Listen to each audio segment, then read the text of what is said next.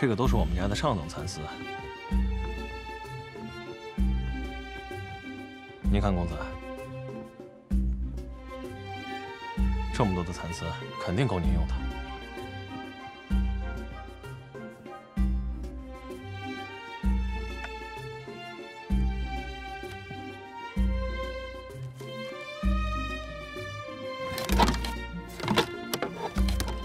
您看，面料亮丽光泽，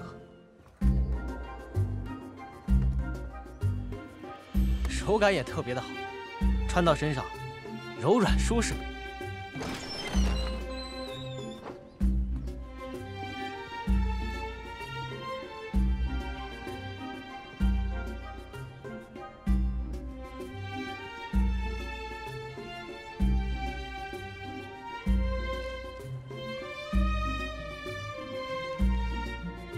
谢谢吴老板。走。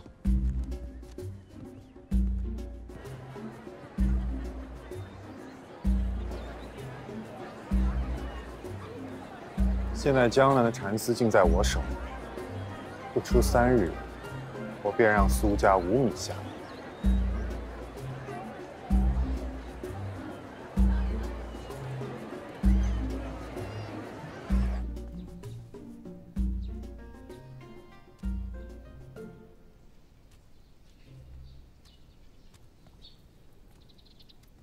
东家，咱们熟悉的那几家蚕丝商，把订单都给了吴家。如今几乎全江南的蚕丝，都在吴家手中了。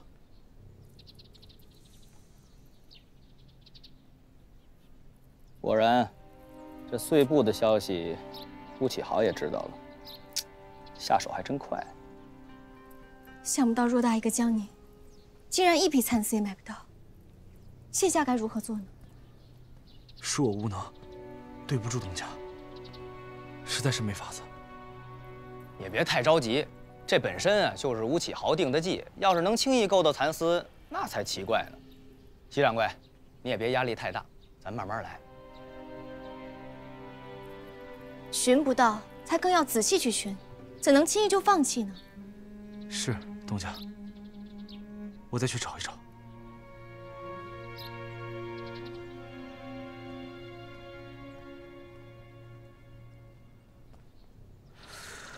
哎，谭二，我是真的觉得碎布这事儿不太靠谱。它不是说买不着蚕丝的问题，它是碎布本身就存在着问题。当然了，你要是非铁了心要做这单生意，我也支持你。反正到最后落个血本无归，我也想好了对策。到时候咱们两个人啊，就摆地摊卖皮蛋。我就不信了，那吴启豪有天大的能耐，他也不能堵着鸭子不让他下蛋啊。我们苏氏布豪世代相传，怎到我就轻易荒废了？你不帮我就算了，不必说这些风凉话。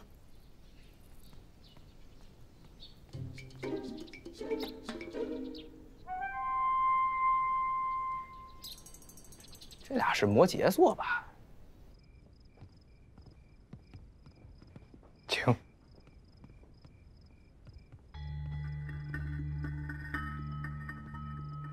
少爷，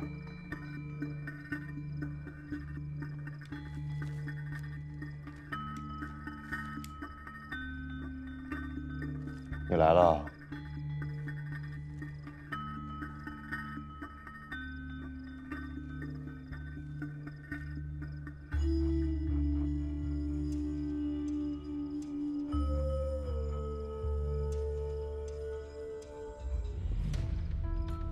阁下见机很快啊，果然是个聪明人啊！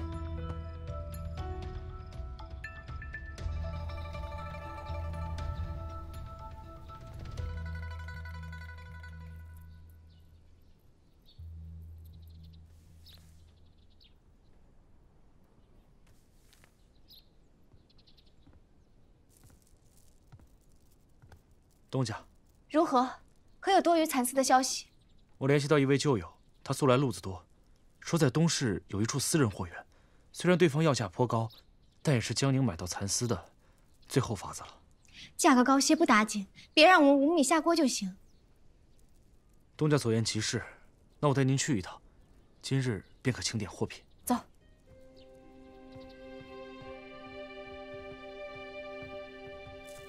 小姐要出去啊？我随席掌柜去东市验货，一会儿就回来。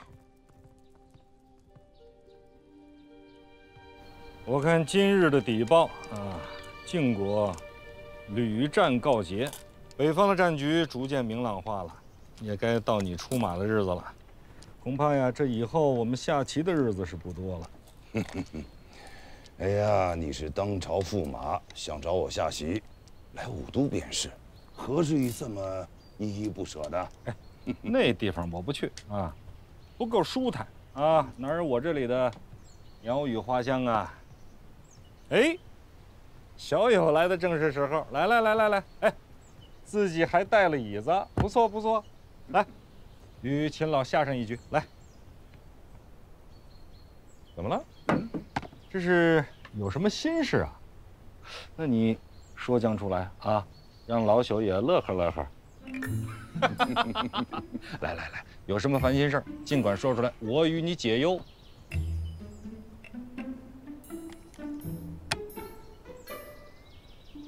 不对呀，你也不是第一次来下棋，啊，每次来下棋都是兴趣盎然，不是站边就是站角。今日怎么奔着这天元就来了？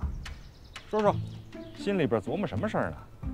康老，你说这你这老狐狸，什么事儿都瞒不过你。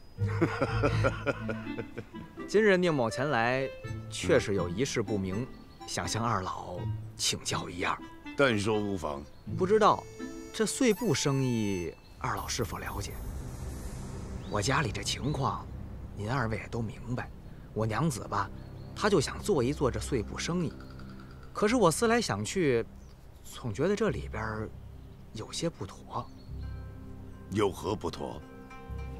您想啊，这碎布生意素来只在皇商手中，今年不知道哪儿放出来的风，说是要增加份额，可是直到现在这转运司也没有公开招标，可见今年的碎布生意啊，不是摆在明面上的。你也觉出了这里边另有蹊跷。我也不懂啊，但是我是这么想的：北方的战事梁境之争，一死一伤，到时候我朝要是出兵，直接坐收渔翁之利，还干嘛交碎布啊？应该他们给咱交碎布啊。嗯。可是这么简单的道理，我就一个做小买卖的都能明白，那朝里的大臣能看不出来？所以我才觉得这碎布的局势扑朔迷离。行啊，这个事情你不是已经弄得一清二楚了吗？那还不赶快回家，与夫人分说清楚。那那如此，便谢过二老。哎呀，我这就回家。快 去快去！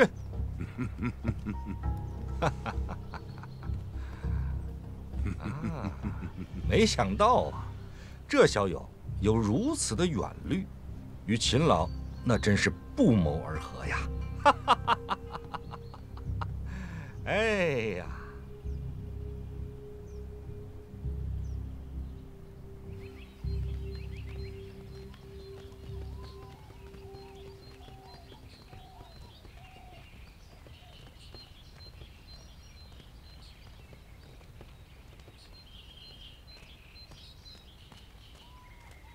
席管家，之前联系过苏家布行来看蚕丝的。啊，知道知道。小姐，我们到了。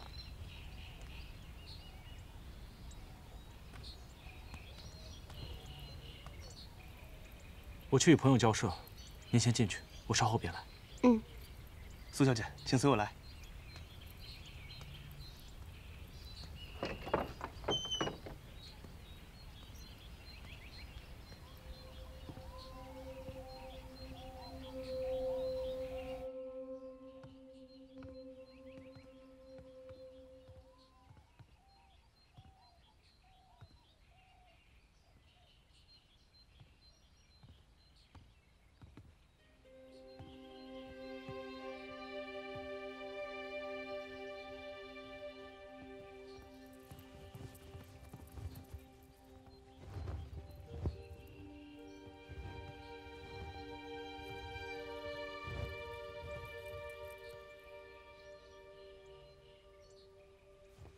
怎么是你？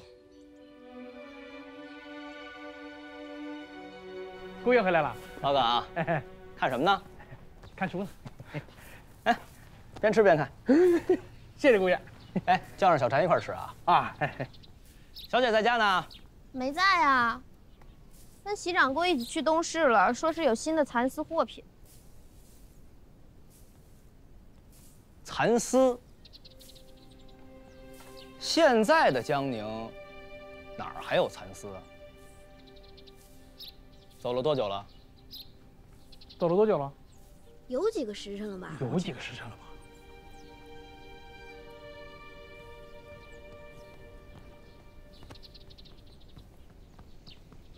唐二，坐。你命人诓骗席掌柜，就是为此。你若真心想和我做生意，为何不光明磊落一些？如果我亲自邀约你，你会来吗？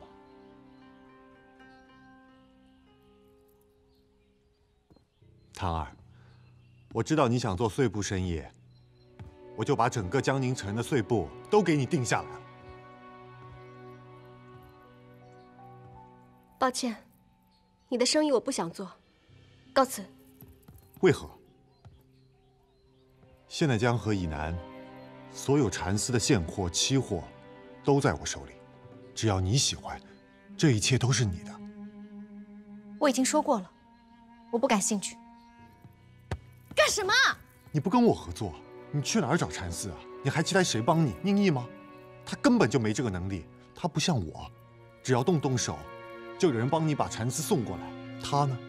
他又能为你做什么？不用你管，你！我偏不。你干什么？干嘛呀你？你为何总要赶我走？我到底哪儿不如宁毅了？唐儿，你想做碎布神医，跟我在一块儿吧。别说是碎布生意，我可以让天下布仓都信乌苏。吴启豪，你疯了！我告诉你，我从来就没有喜欢过你。就算你霸占了天下所有的蚕丝，也不能证明你有本事。你不过是靠着乌家的财势，没有你祖辈的荣耀，你什么都不是。我才是江宁城最优秀的商人。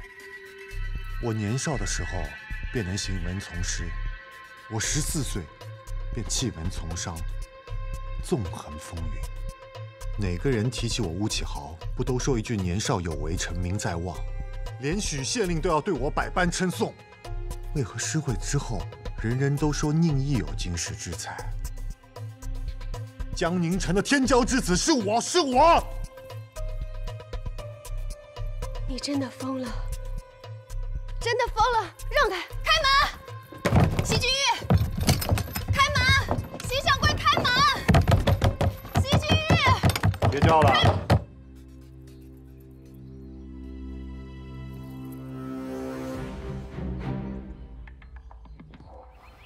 他现在已经是乌家的掌柜。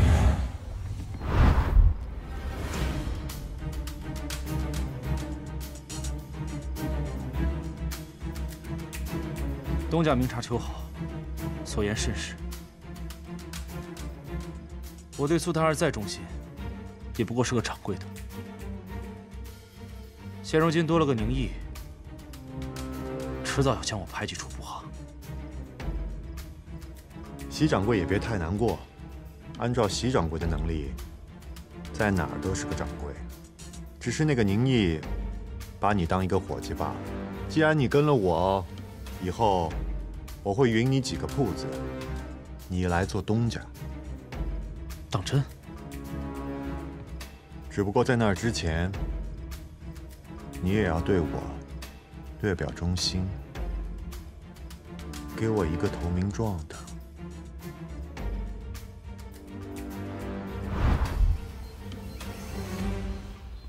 让开！让开！这这，宁毅他不懂布，不懂丝，更不懂你。只有我们才是最合适的。你做碎布生意的时候，他可有帮你？今日又为何让你一个人前来？他连你想要的都给不了你，他根本就配不上你。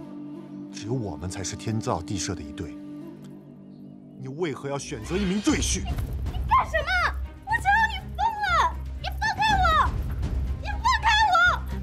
什么做得到的，是我做不到的。放开我！放开你！我这辈子都不会放开你！啊！你要干什么，吴启峰？你知不知道，全江宁城的姑娘都想嫁给我，而我只喜欢你。这是你几辈子修来的福气。我今天就让你看一下，我比宁毅好。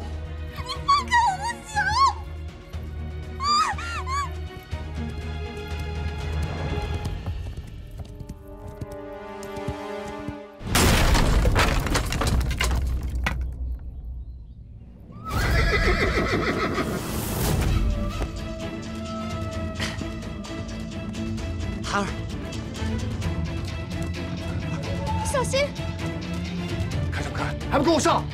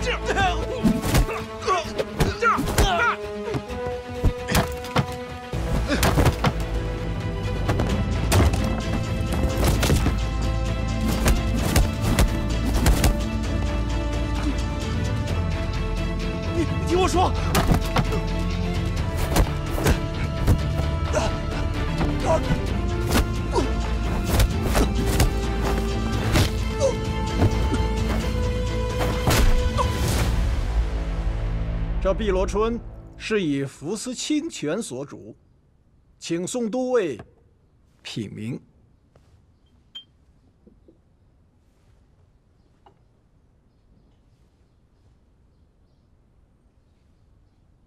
嗯，江北的蚕丝本就不多，让给苏家也就罢了，宋都尉不必担心。不好了，不好了！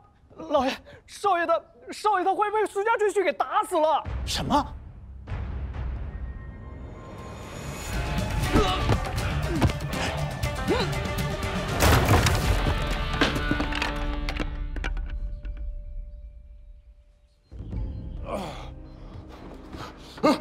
你你要干嘛？我只不过喜欢谭儿，我犯了什么大罪了吗？你知道杀我杀我有什么后果吗？哎哎啊啊！不要不要杀我！爹爹，快救我！啊别别！宁毅，我乃武朝都尉宋宪，你是要杀人是吗？那你用这把刀杀好了，我人就在这儿了。你把人杀了，我带你去见官，直接法办。对对，你别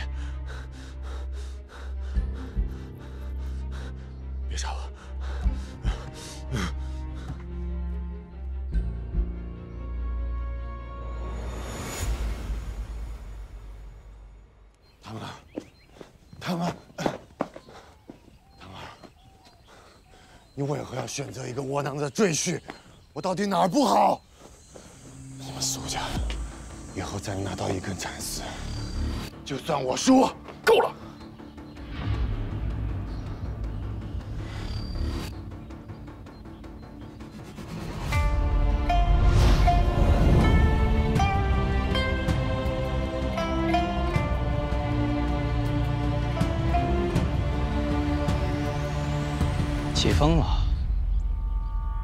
那乌家就破产吧。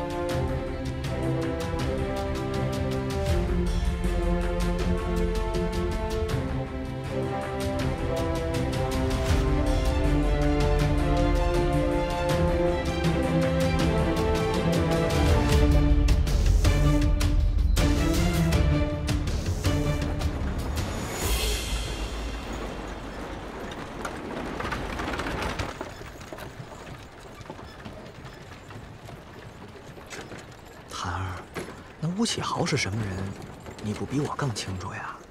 他说有货你就信啊？我也不知道出货的人是他。那整个江宁城都没货了，那怎么席君玉就能找得着呢？还在东市，那乌家的仓库就在东市啊。这次我要晚来这么一会儿，那……岁部对苏氏真的很重要，我怎么能不着急呢？我知道，我知道，我知道，涵儿是我不好。其实我早就有想法了，就是没告诉你。你放心，我跟你保证，以后再也不会有这种事发生了。嗯。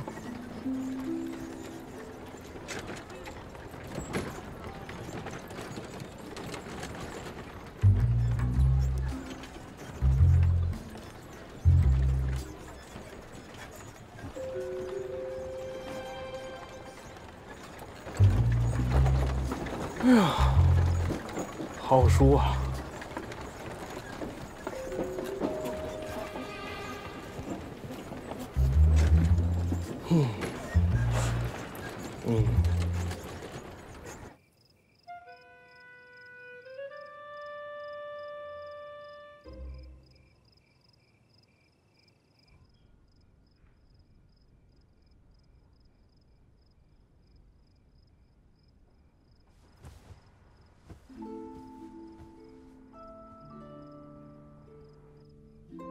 你是不是害怕呀？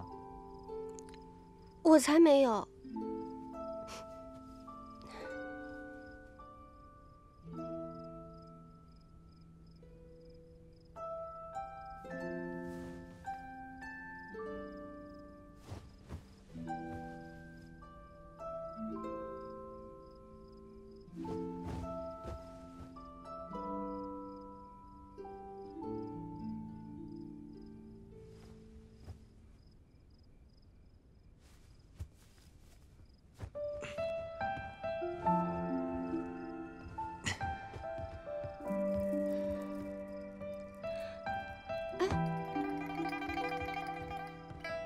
做什么？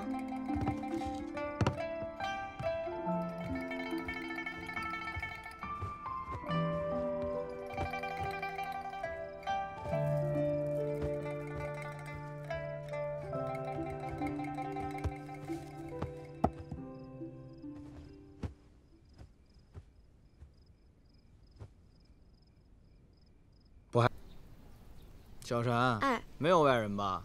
没有。檀儿，你起得这么早，你也不叫我一声。你睡得四仰八叉的，谁能叫得醒啊？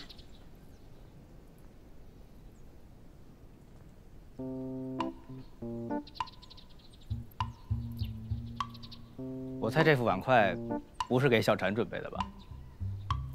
反正我一个人也吃不完。我也勉为其难吃上一口。哎，哎，你今天就甭出去了，好好在家休息休息。我一个人去布行，你自己在家不害怕吧？害怕。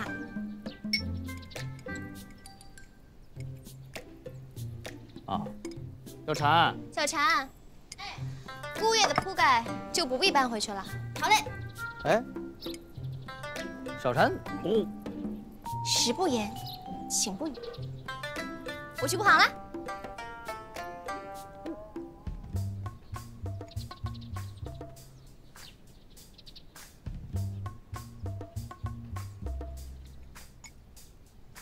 贵客光临，请问有什么可以帮到您的？照顾好客人啊！这都日上三竿了，席掌柜怎么还没来啊？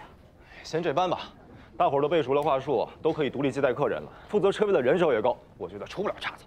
忙去吧，那个蚕丝小心点，别弄脏了啊！哟，哎，姑爷，哎，廖掌柜，不必多礼。掌柜，嗯，席君玉呢，到别的地方另谋低就了，咱们正好缺个掌柜的。你业绩最好，我不选你选谁啊？有人有异议吗？没有，没有。哼哼，多谢姑爷。哎，行了行了，老这么客气干什么呀？姑爷还得托你帮我办件事呢，请姑爷吩咐。还得拜托廖掌柜，把这份告示张贴在苏氏布行所有门店的门口，帮我宣传一下。告蚕丝商书，本人预购乌启豪所持之蚕丝订单，自愿加付十倍重金，十倍啊！并代为赔付违约金，来者不拒。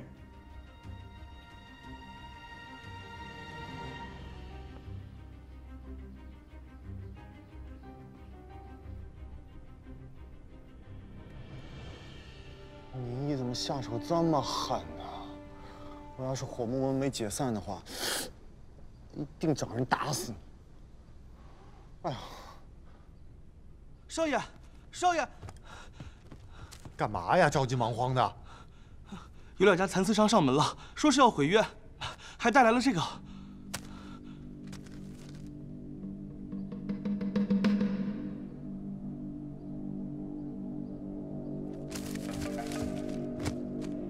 这两家蚕丝商是疯了吗？公然跟我叫板，还相信那个苏家的赘婿真的有钱跟我争？去把衣服给我拿来！哎，哎少爷，就是你们两个要来跟我解约是吗？宁毅给了你们什么价格，让你们敢来乌家撒野？吴老板，大家都不容易啊！人家宁老板说了，只要我们肯转让，他不会只付一半定金，而是全款付清。对呀、比您多十倍呀！我们两个也是着急着用钱，您将心比心，就同我们解气了吧。你们两个狗东西！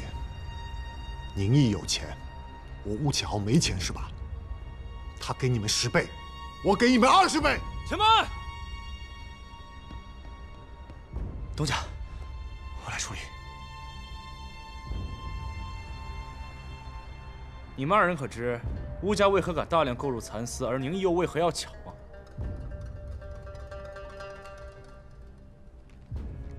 你们要打听的便应该知道，乌家将会是日后皇商承担起碎布生意的重任。乌家是为了朝廷才囤积蚕丝。你们两个是脑子坏掉了，还是被银子冲昏了头啊？就要跟乌家作对？没错，现在宋都尉是我们乌家的座上宾，就连前朝的太师都要给他几分薄面。我现在捏死宁毅，就像捏死一只蚂蚁一样。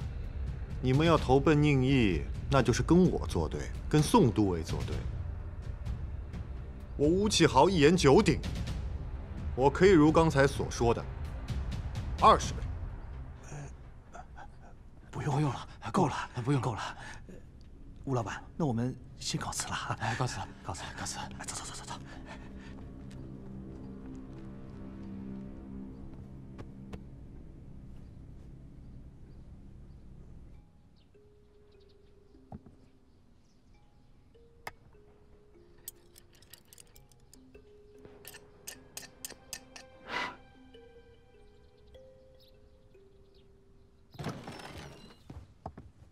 姑爷，你在造什么呢？一些防身的小玩意儿。怎么了？哦，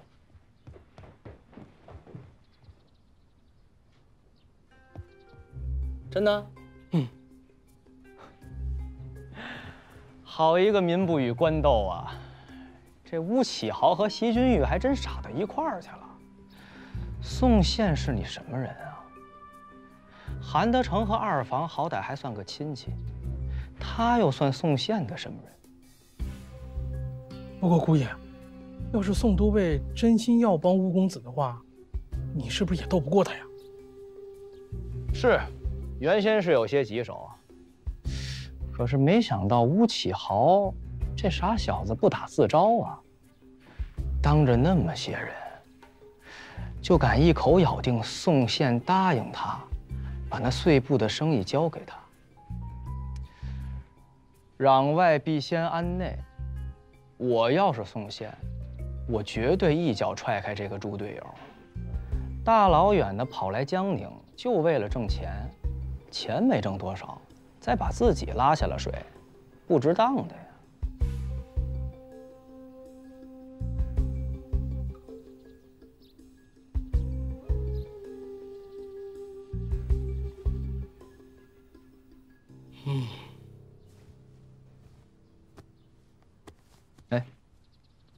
还是看看书吧。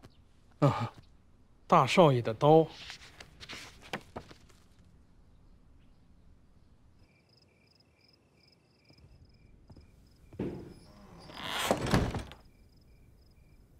你为何要以十倍的价格跟乌家抢蚕丝？这不是没抢成吗？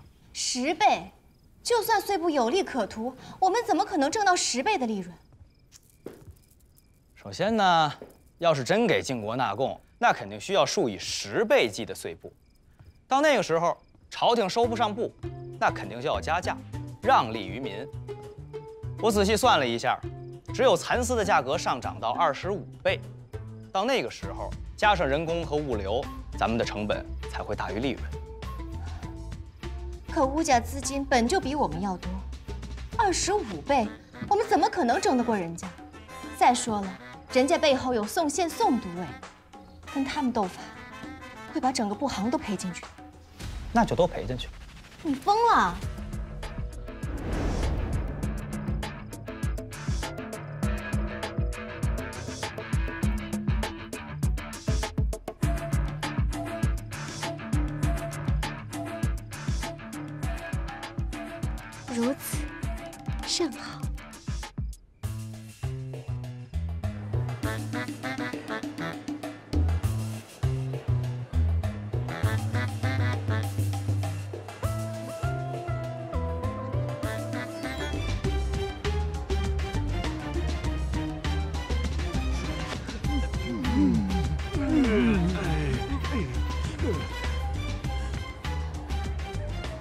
姐姐，这个名义能不能行啊？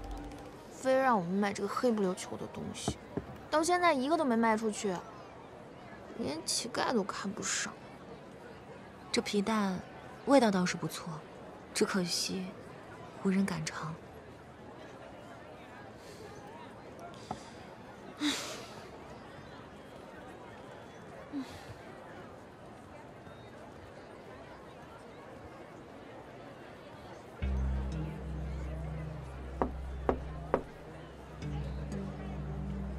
此乃何物啊？哦此乃松花蛋，客官可要尝一尝？不必啦，有多少就给我包多少，我全要了。好嘞，好嘞，客官稍等一下啊。如此柔提，整日里摸着这些黑乎乎的东西，岂不可惜？不如跟我回府吃香的喝辣的，包你如何？你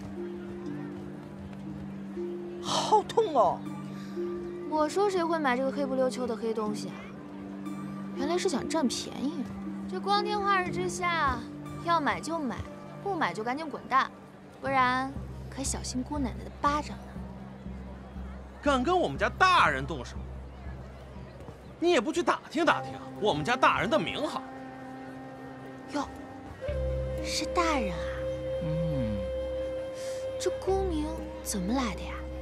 我没读过圣贤书呀，知不知道非礼勿动啊？哎你个小贱人啊官，！你别生气，我家妹妹不会说话。如此活泼可爱的小娘子，可否告知宋某你的芳姓大名啊？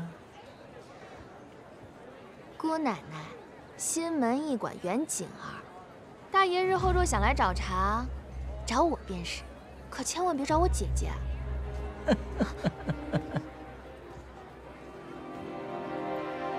我一定会去找你的。